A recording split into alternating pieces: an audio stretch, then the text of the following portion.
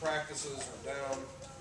Uh, you know, overall, been going pretty good. Just give you a quick, up, quick update on injuries. I know you guys obsess over wanting to know what the injury situation is. I guess that's because it gives you guys something to write about. But um, uh, uh, Adam Pankey uh, had knee surgery yesterday, uh, successful knee surgery. He's obviously laid up and, and will be uh, expected like an October return. How guys come back from these, everybody's different. We don't know what it's going to be like. We don't know if we're going to be able to use them next year or that. We'll obviously figure that out in, uh, in, in, September.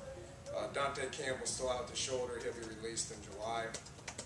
Uh, Chestnut's out with the knee. He'll be released in July.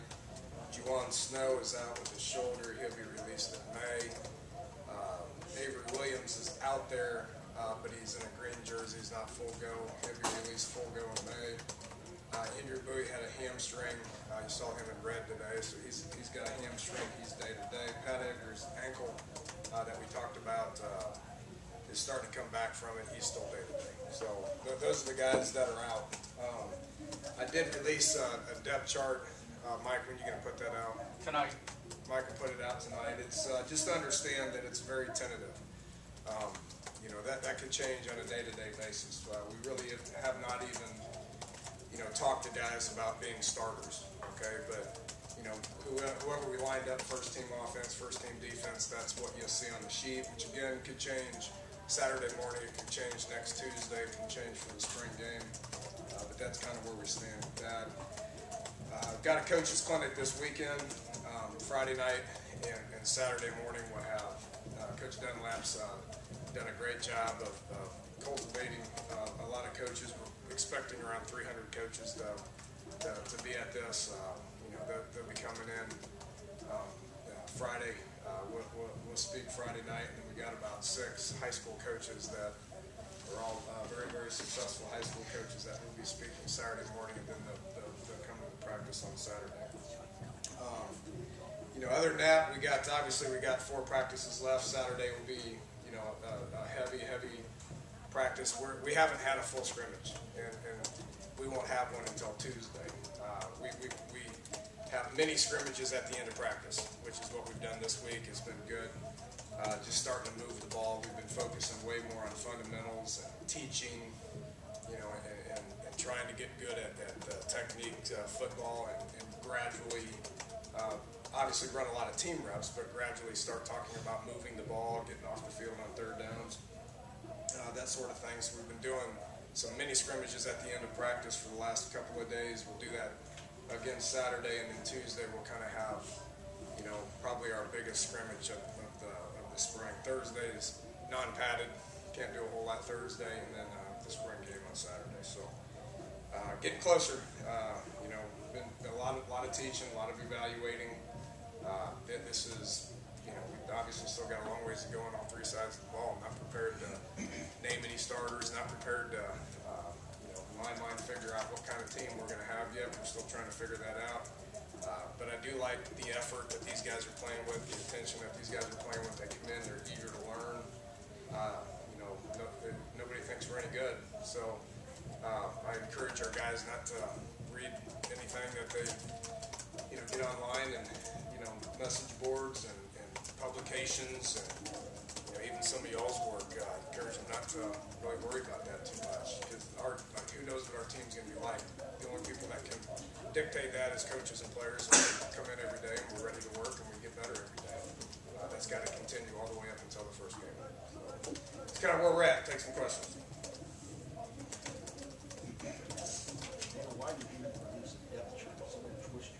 Yeah. Force you. Yeah, I've been yeah, pretty much. It's that, it's that little guy in the back been, been pestering me and pestering me and, and you know poking me and all that kind of stuff. So I figured I'd make it a little bit easier for our media relations department, which we have a tremendous relationship with media relations. We want to keep them on our side. So they needed something for the spring game. So you know, that at least be a tentative depth chart. If nothing else, you can see who's playing what position. Now, obviously, first team might mean second team in the spring in the fall. We add another 20 guys that we expect to come in to compete for, you know, playing time. So you know, even if that's the way it is right now, if we're playing tomorrow, then it's going to change uh, come September first, come August first, all the rest. So you can at least see what he's got, where they're playing, and that, that, that'll even change between now and, and, and, and August. You know, guys are gonna get bigger, you take a guy like Sean Walters, who came here as a safety, and then he moved to outside backer, and now he's playing inside backer. So guys get bigger, they, you know, they mature, and who knows what their ceiling is as far as what their height and weight and speed and all that stuff's gonna be as they older. Speaking of position change, you've apparently done something or trying something with Vernon Davis. The reason for that is, You know, we were watching him catch punts, and it was, it was really, what is today, Thursday? It was Tuesday. Uh, you guys were out there, and I was watching Vernon catch and run, and he was, he was running forward uh, at a at a at a faster rate than he was running backwards. And he was sticking his toe on the ground. He was fluid, and he was coming out of his cut. So I just kept him down there. I mean, we do this periodically. Uh, it looked good enough to us on Tuesday to keep him on offense on Thursday. Whether that's a a bona fide full-time position move, we'll probably just keep evaluating that. But he, he did look better moving forward than he did backwards. it's not like you don't need the help the corner. Is that a concern? Well, we need, we need, we need guys at corner to step up to be players. We, we can't, we can't get rid of the people we had and bring in six new people. This isn't the NFL. Which, we played a lot of young corners last year that are going to get better, that we expect to get better. Uh, Vernon was somewhere around third or fourth team corner at the time, so we decided to try him at receiver to see if he can crack the two deep or, or start at receiver. Uh, I think it's probably in the best interest of our football team to have a first team receiver as opposed to a third or fourth team corner. Did you like what you saw of him returning punts? Is that an option for you? Well, I, I'm not prepared to say that yet. Uh, we're, we're, we're not going to know who our returners are for quite some time. Uh, we have about four quality guys coming in that, that we recruited to be return guys. Uh, you know, we got we got guys that we're evaluating out right right now from a return standpoint. Uh, you know, it, it, I'm, no, I'm not comfortable with saying that he's a return guy at this point. He, he looked good after he caught it. He looked good moving forward and being fluid and sticking his toe on the ground and coming out of his cuts, which is what you look for in a receiver. How, how are you going to handle the quarterbacks as far as the spring game goes? Will one work with one unit or? We'll mix them. What, what we've been doing in, in the previous 11 practices is, is, is Paul will go with the quote unquote first team, um, which, you know, not only do they switch, but receivers rotate, the linemen kind of go back and forth. Uh, but we keep the quarterback with a specific center, and that changes every other practice.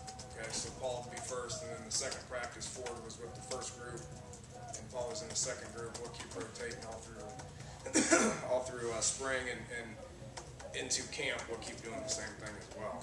Uh, in, in the spring game, we'll, we'll just we'll mix and match it. There'll be a lot of moving parts. It's not a game. I, would, I hope we win, but there's going to be a lot of moving parts, and you know, y y y spring games are tough. You, you, you want 'em- you want it to look good for the you know for the for the for the audience, you know, for the fans that come, and it's going to be a festive day, and we're going to have a good time with it. We want it to resemble football, but uh, we're not trying to make any decisions on that actual game. Eger came back today and, and was working out. While we were out there, he wasn't at center though. Is that because of his injury, or did you plan on working him back in? Yeah, he'll, he'll be able to play other spots. He, he didn't go through, what you saw him do is about all he did. He's not ready to full-time become back, and we didn't want to put him at center with a quarterback and then him have to take himself out because his ankle hurt or any of that. So we didn't feel comfortable with him going through the whole practice, so we kept the centers as they were because you got to have a rapport with the quarterback and center. I mean, you know, once you get up with your first team, second team guy, you take your first team quarterback and you make him take snaps from the second team guy, but we're so we're so inexperienced at quarterback and center that if you start mixing and matching them too much, you're gonna it's gonna look bad. So we didn't want to put Pat out there and then all of a sudden have to yank him out and put another center. in. Let me get that bomb. Yeah, I wish you would, because I ain't Who do you know that isn't here? You mentioned not. You may continue. You mentioned not knowing people's ceilings earlier. Isaiah Bruce, uh, when he came out earlier, he, he said he wasn't. He doesn't think he has a ceiling. That, that Didn't recognize. after last year, uh, he, he feels like he still has a lot more to a lot more to prove, a lot further he your thoughts on him through this spring and what he can accomplish this year? Well, he's got, yeah, he, he, he's right. He hasn't, he's not close to his ceiling. Uh, don't, and don't know what the ceiling is. You, you're gonna reach it at some point in your career. He's not even close to it. Uh, and, and mention this part, part of why we were subpar on defense last year is so many young kids that we played. I mean, you play that many young kids, you ought to be better a year from now. Right? Every, every, every freshman that played for us last year on defense should be better next year. Not, then they're not doing something right. Uh, you know, so he, yeah, he's, he's, and he, he's not having his best spring right now. Uh, you know, he, he's clearly a starter, but uh, Doug Rigg's pushing him pretty, pretty hot and heavy right now.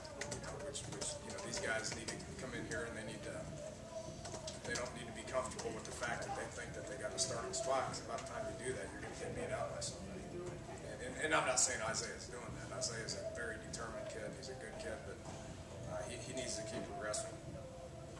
You have this uh, team thing all- over the place, the motto on T-shirts and posters and stuff. Uh, talked to Shaq about it the other day, and he was specifically talking about the Mountaineer mentality part and what he thought that that meant to him. Could you tell me, like, when you talk to the guys about that Mountaineer mentality, what it is that you preach it to be? Well, it, it's it, it's it, it'd be hard to explain it one small little press conference. We we have we have uh, we, we've talked about that a lot, you know, and, and you know we we've taken different aspects of, of what this program's about and who we are, and you know embracing uh, you know different traditions and understanding what the past is and understanding why it's important in this great state, that sort of thing, and we educate. You know, that, that's how, how, how are all our young kids gonna understand what it's all about unless we don't educate them? And we've taken a good po- portion of the beginning part of, of, of, of this spring semester, and we're gonna do it again tomorrow morning. You know, six AM, we're gonna get up here, and we're gonna have a small little workout, we're gonna come down here, and we're gonna teach them. We're gonna teach them about something, about, about what the program's all about. And, uh, that, that, that's something that, uh, I, I had to learn that. I had to learn what it was all about. I couldn't step into the, this role and, and learn everything overnight. So, you know, we're, we're, we're teaching all the new coaches, we're, we're teaching all the new players, we're reinforcing why specific things are important, and we're gonna embrace a whole bunch of them. Is that where Shannon Dawson singing "Country Roads" or the fight song? We wouldn't let him actually sing it. Uh, he, he, the, the only way that would have worked is if we had a karaoke machine that could overcome his actual real voice. Uh, he can't play the piano, which is actually impressive, but we don't let him sing. Uh, he does, he does have a couple of places he likes to go for karaoke and, and sing. And depending on what time of the night it is, he gets a, gets a standing ovation at times. Uh, he did last, uh, uh, last Friday morning. You know, we, we taught him about the history of coun- country roads. You know, half of them knew who John Denver was, and half of them didn't.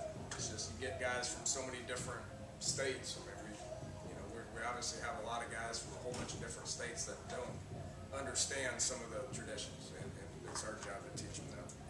We taught them all about country roads, and you know, uh, you know, attempted to teach them what the lyrics were, and then after practice on Saturday, when after I broke it, we played it, and sat there and enjoyed it. It's a good feeling. It's one of the best traditions in college football.